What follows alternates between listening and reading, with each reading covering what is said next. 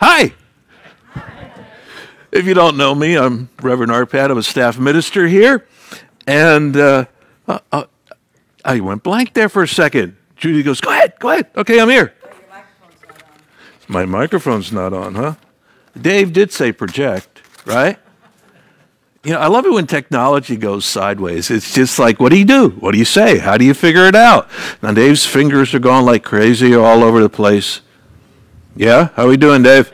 Yeah, here's this one. Oh.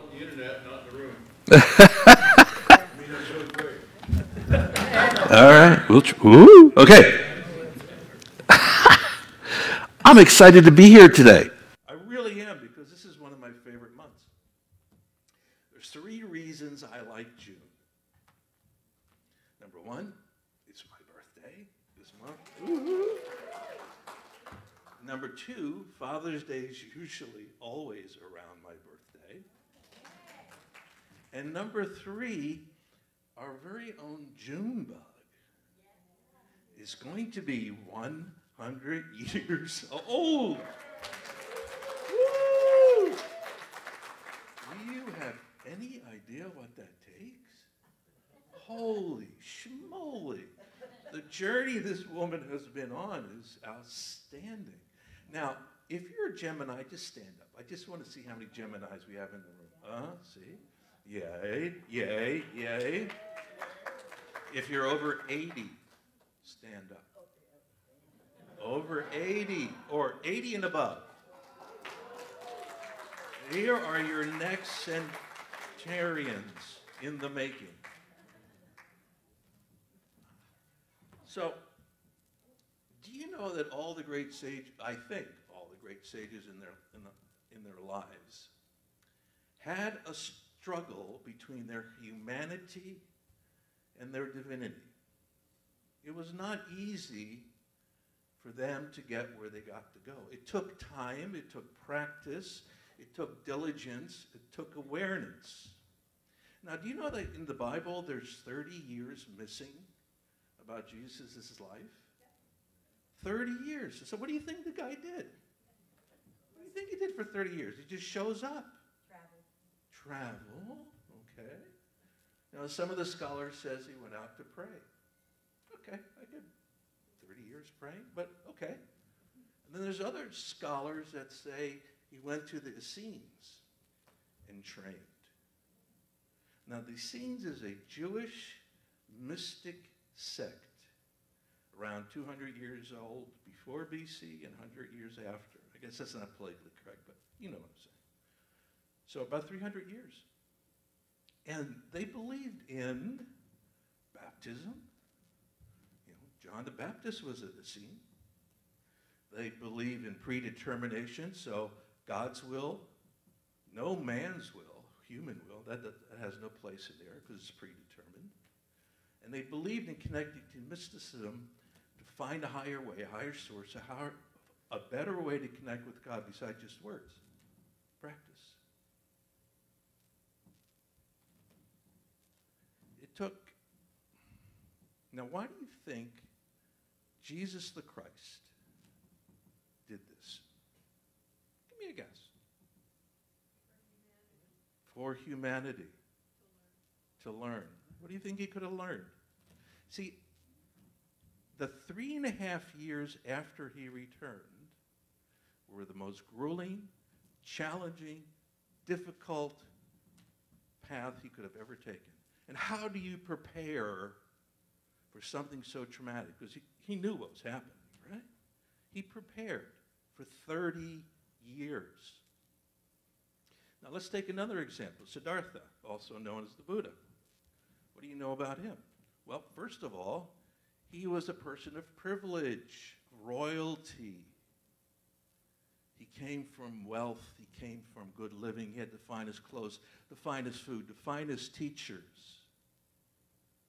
But he, just like Jesus, had an awakening of some kind that told him that there is something better out there. There's something new out there. There's something that they both had to tap into. So, what does the Buddha do? He leaves, goes out into the real world, and experiences pain and suffering and poverty and all the things he'd never seen before because his whole life he was told what to believe. He was told through royal eyes what the world was like and never stepped out of the palace.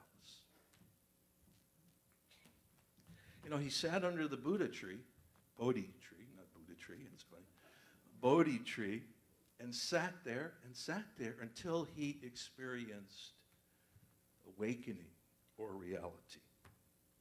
Now, think about that for a second. Can you sit under a tree for years waiting for an answer? I know I can. Uh, here's a lesson that uh, the Buddha would teach his students, which I thought was very profound. So there was this man and his son, and they were very close. And the man had to go out on a business trip. So he uh, leaves his son home. But while he's gone, this robber, this thief, whatever, whoever this person was, comes in, kidnaps his son, and burns his house to the ground. Wow. So when the businessman returns and he finds that his house is totally burned to the ground, and there in the pile of ashes looks to be his son's bones. He was devastated. He didn't know what to do. But he gathered the ashes, put them in a vial and urn, and carried it with him wherever he went for years. On His business trips, at home, wherever. And then one night, many years later, the young boy escapes from the thieves.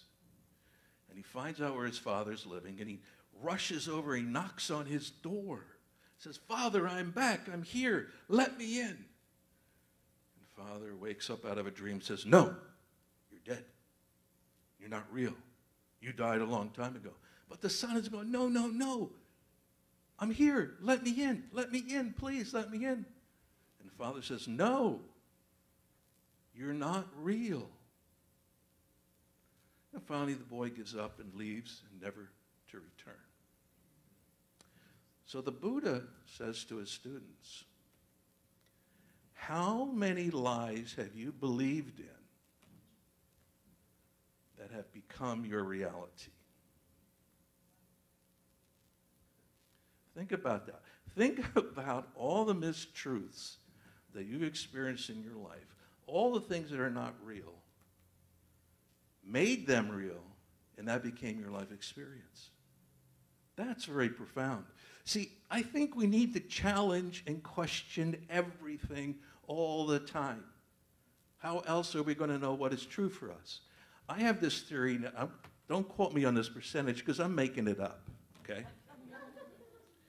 But I think that over 90% of the things you know in this world, you have not had firsthand experience with. Okay? You read about it. You watched a travel blog in Tahiti about what the world was like. Okay? But you never went there. And I'll tell you a funny story about Tahiti. So when my wife and I went on our honeymoon, this is a few years back, almost 50 years ago, uh, we rented a little moped. And uh, we were driving around the, the island. And we came across a little elementary school. So we stopped and we went in and noticed that the kids were still in session. And we noticed on the walls that all their paintings were in red and orange. We go, wow, that must be a cultural thing in Tahiti. It must, must have some cultural significance. It must be really cool. And the teacher saw us and said, come on in. Come on in. So we talked to the kids and we mentioned the cultural significance of the paintings and asked her about it. She was, oh, no, no, no. We ran out of blue and green three months ago. This is all we have left. but the point is, is that had we not talked to the teacher, our reality would have been, oh, the Tahitian culture likes red and orange. And I would have lived with that, and I would have been happy with that. You know, it would have been a good, who cares? It's my reality. but the truth makes the difference. So I want you to question religion. I want you to question science of mind. I want you to question the news. The news is not unbiased. Are you crazy? It doesn't matter if you're Republican, Democrat, Independent, the news is biased. It's presenting a point of view under the disguise of being neutral, and then your reality is connecting to it and going, oh, yeah, they're right, because you think they're right. I had an experience when I was in uh, Hungary when the Russians were still there, and something happened in the United States. I can't remember what it was. Some news event happened in the United States. And when I went over to Hungary to visit my family, that same news event was being reported. But it was not what I saw. It was not what I heard. And I go, how is this possible? I, this is how I experienced it. But the Hungarian news was reporting it differently. That was my first inclination that, whoa, we're going down a slippery slope here. So, question everything first, okay? Question your philosophy, question the books you read, question, question your neighbors. So, let me ask you a question. Who can tell me their first experience of reading a book or doing something where you knew that there were other possibilities in the world? Other possibilities. And you went, whoa, is there something more? My first book was Ruth Montgomery. Now, I don't know if you know who Ruth Montgomery is, but she was a, a very famous uh, journalist for many years. I think she was born in 1912. June, is that? Uh, she was born in 1912. And she went from being a journalist, which is based on facts, to writing about things that we don't talk about past life regression, uh, mystics, uh, angels, guides, aliens. But there was something inside of me that knew that there was some truth in what she, what she was writing. But I didn't know what the truth was, but it resonated with me. It was a feeling. It was something that made me go, huh. So who, who can say something? Who, what did you read?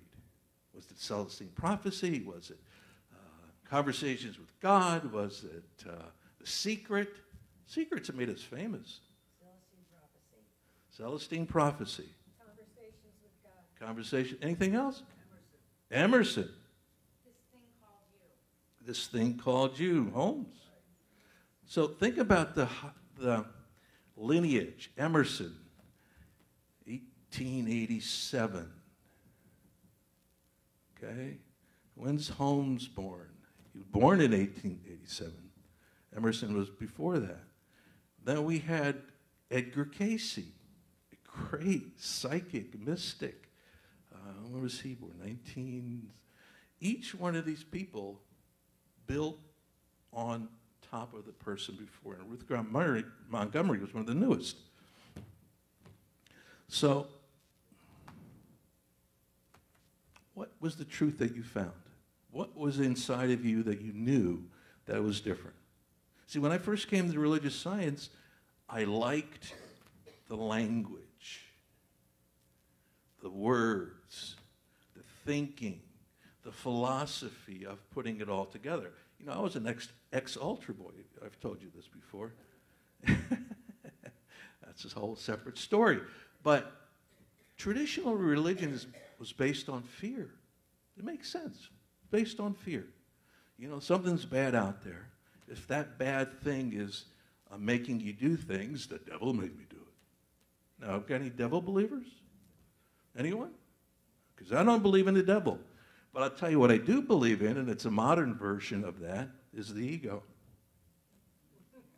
We could all relate to the ego because That is that big, loud voice in your head that's saying, Come on, you don't deserve this. Come on, you don't want this. Come on, you're not good enough. The gentle, quiet voice is spirit, it's God. It's your higher wisdom self talking to you.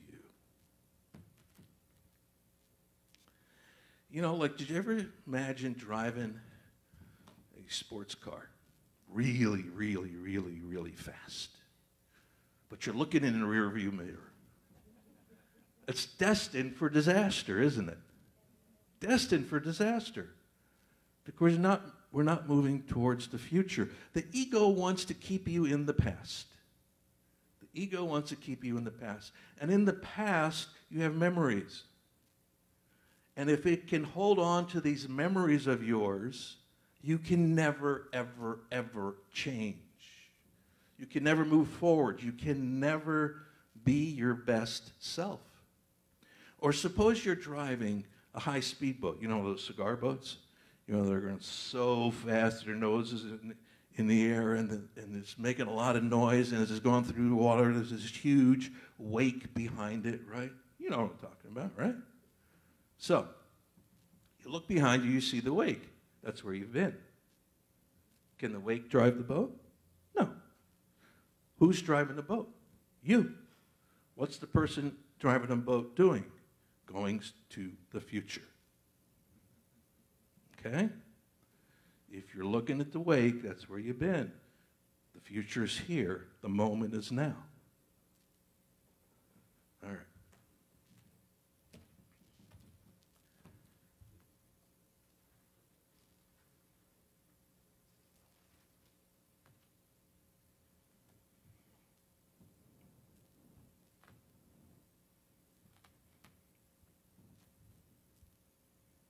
It's going to take time for you to rise, to jump up and be something better than yourself. Just like the sages, it took time and it took practice. It didn't happen overnight. You can't let the ego control you. You can't let the ego drive your boat. You can't let the ego pull you down because that is not who you are. You know, we, we, we're told that God is in everything, everywhere, every possible place, everything, every surface. Science is proving that. Science is saying, hey, hey, what are you yawning over there? What are you doing there? Cut that out. Science is telling us in the atom, it's not solid. Hell no, it's not solid. It's there's space in that tiny little atom. And the electrons, neutrons, there's space. These chairs, are they solid? No, but they're energy. And now, I'm going to move on to something different. My friend Dave back there always says, Hey, Arpad, I noticed there's a pattern in your talks. Oh, yeah? He goes, What is it? He goes, Yeah, there's always a meditation at the end. Oh, yeah, there is. You know why? I didn't answer him. The reason I always have a meditation at the end is because my goal is for you to get out of your head and stop thinking about what you're told and get into the feeling level of what you experience because that's the only way you're going to know the truth. Experience, feel, embrace. Reading is good, it gets you closer. But unless you feel it in your heart, in your gut, it's not going to happen, in my opinion. Now, does anybody have a different opinion? Do you think that feeling is important? Okay. So, if we could, where is John Henry? Did he leave? John Henry. He's, hey, Mary, can you just play some uh, meditation music?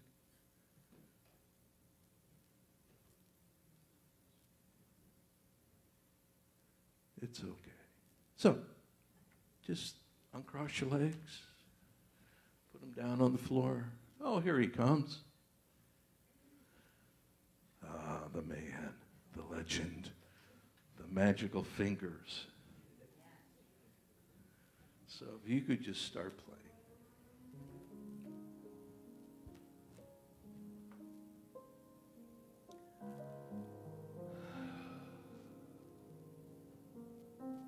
Just take a deep breath in and exhale. Feeling the energy swirling around your head, your shoulders.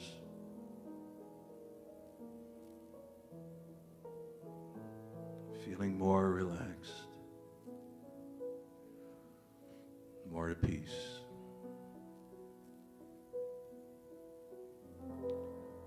Breathe in exhale again, feeling that swirl of life, of consciousness, of love swirling around your solar plexus. Feeling more relaxed, more at peace,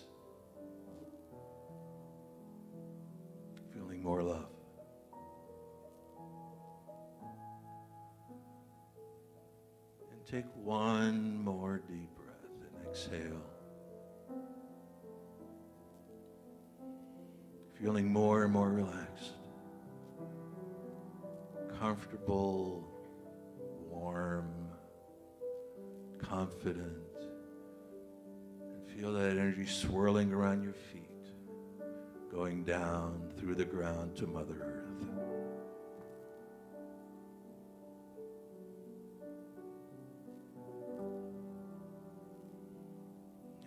You find your special place in your mind.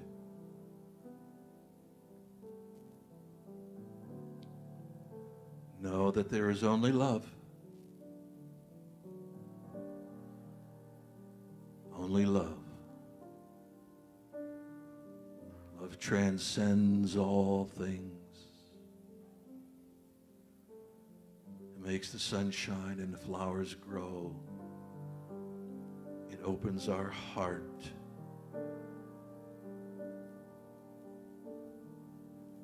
We are blessed and we are aware.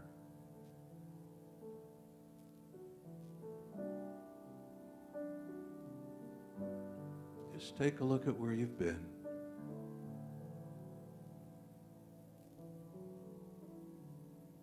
Look at your life.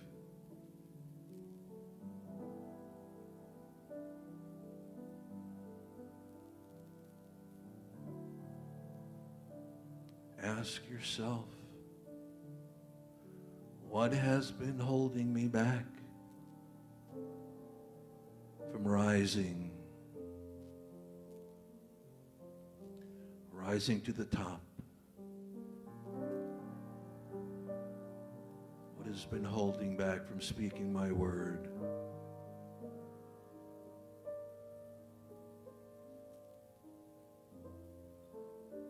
Just ask yourself.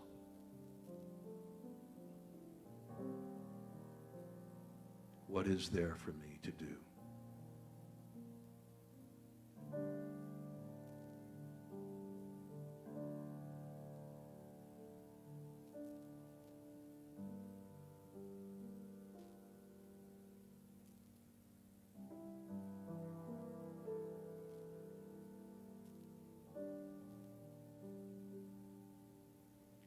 We could be a 100 years old. We can be 16 years old. Spirit will talk to us and take care of us and guide us. So we can move on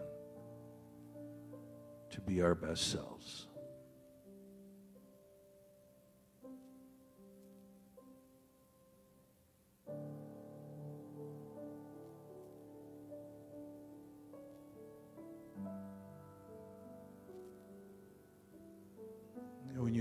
Just say, Thank you, God, for anything that may have come to me. Any morsel, any big words, any feelings. And just bring it back with you to this room.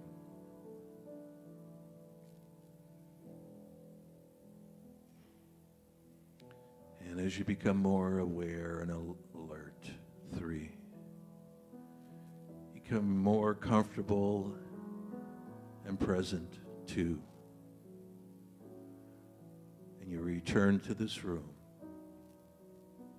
fully connected to Spirit, one.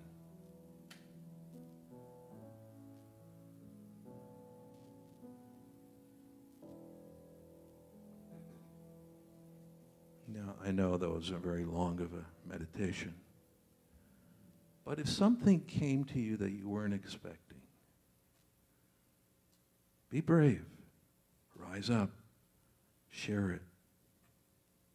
I know it's personal. That's okay. All right. So, my point is this question Trust God. Connect with Spirit. Find your personal message how to communicate with Spirit in a way that you understand it, that you recognize it, and that you can believe it. And so it is.